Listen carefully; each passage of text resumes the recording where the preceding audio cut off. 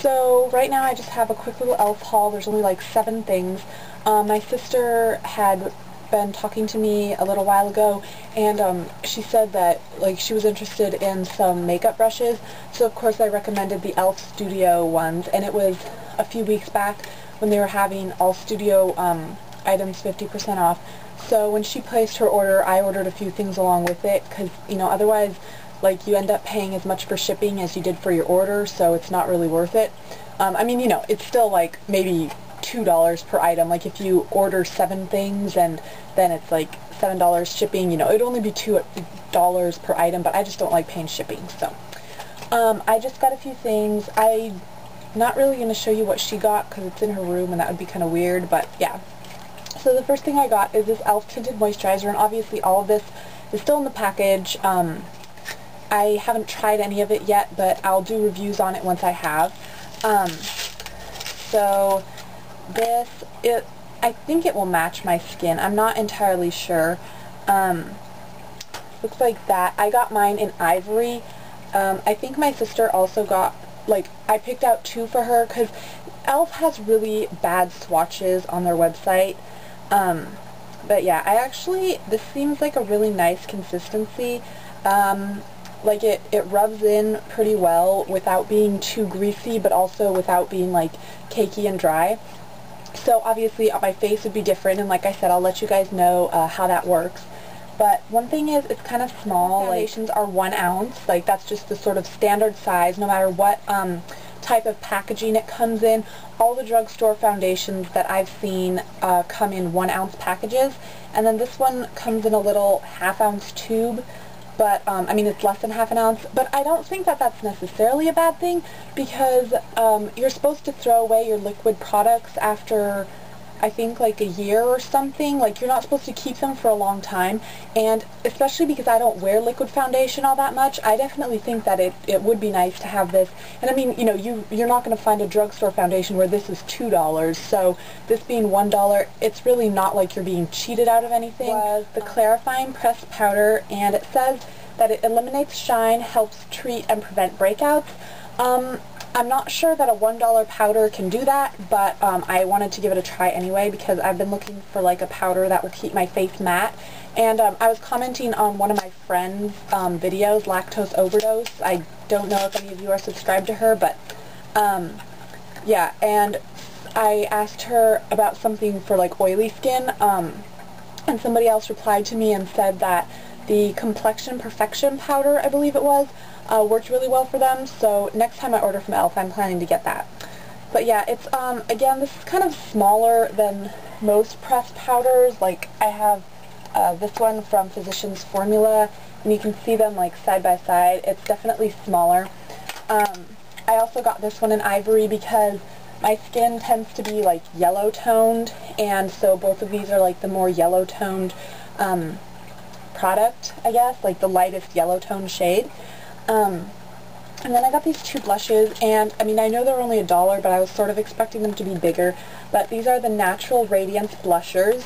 Um, this one, like, it's still in the package, and it's broken, so um, I'm not really sure about these. I've heard that they're really chalky and um, powdery, but I'm just going to try them anyway because my face tends to be oily, so um, powdery things don't really bother me. Okay, so that was weird. Um, yeah, they slide out like this. Just, yeah, just took me a while to figure that out. Um, but like I said, this is all broken in here. Um, it definitely is very, very powdery and chalky, but, um, I mean, that applies like almost as thickly as an eyeshadow.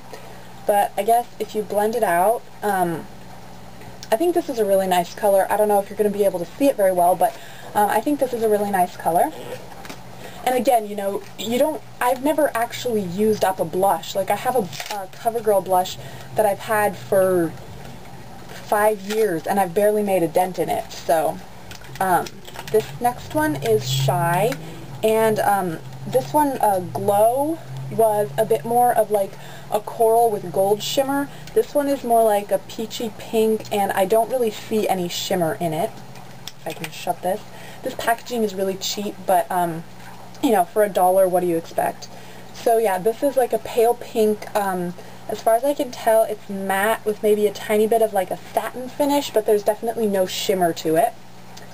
Um, and then I got three of the e.l.f. Studio blushes. I have all of the e.l.f. Studio eyeshadows, um, and I thought about getting all the blushes, but then I decided that I don't really like darker blushes, so there was no point in me buying the really dark ones because I'm not going to use them.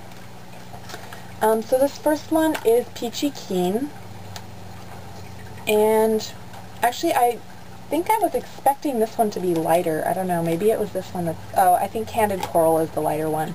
But um, yeah, they come with this like protective covering. The funny thing about the Studio line is that, wow, I really cannot get this out. Um, is that like there's so much better like packaging than the uh, $1 line and yet they go on sale so often that I don't know why people would pay $3 for them. Like it seems like, you know, they're only 50 cents more. Um, but yeah, this packaging is really sturdy, really good. Um, and like I said, I have all the eyeshadows, so you know I know that it's not just it looks sturdy and then it falls apart.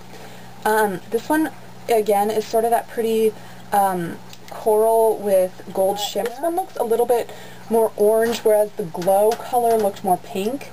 Um, I'm not going to swatch these because these are more sheer, less like chalky, and so I don't think they're going to show up so well. Um, and then this next one is Candid Coral yeah, Candid Coral. Um, oh, just kidding. This one's not light either. Aw, I just chipped it. Um, yeah, so this one is Candid Coral. And I don't know if you're going to be able to see this. All of these that I bought were just sort of, you know, have like natural colors. Um, this is, let me compare these two side by side.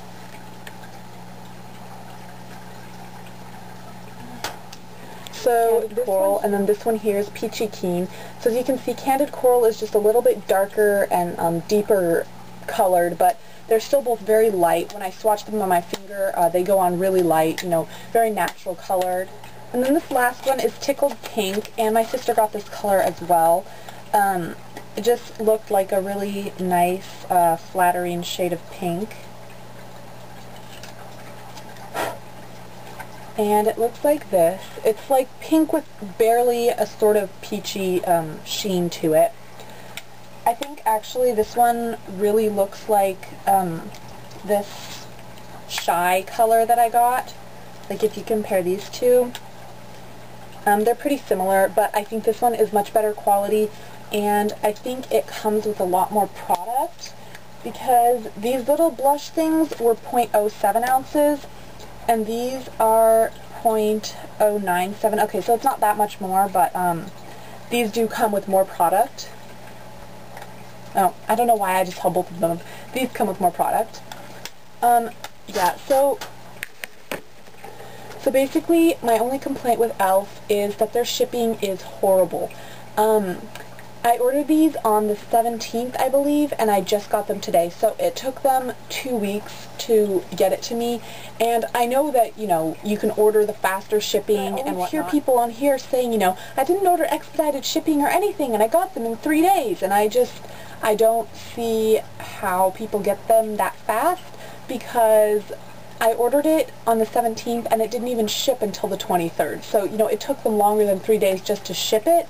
Um, and then, you know, obviously after they ship it, FedEx has it and they can't really do anything about it. But it just, it's sort of, I mean, you know, it's not like the end of the world. I can stand to wait two weeks for my makeup. But um, it's just sort of annoying that it takes so long when, you know, I know that when I mail things um, through USPS, it takes them like, you know, two days to get some reviews on these uh, once I've tried them out for a while. And I think that's it. Thank you guys for watching, and I hope you have a great day. Bye.